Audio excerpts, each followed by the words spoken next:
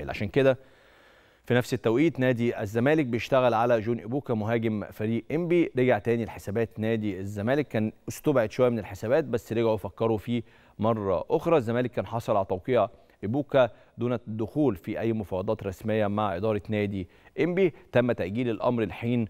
البحث عن مهاجم أجنبي خارج الدوري المصري حتى هذه اللحظة لم يتم العثور على مهاجم لدعم الفريق في الموسم اللي جاي. عشان كده ممكن إبوكا يرجع تاني لحسابات نادي الزمالك.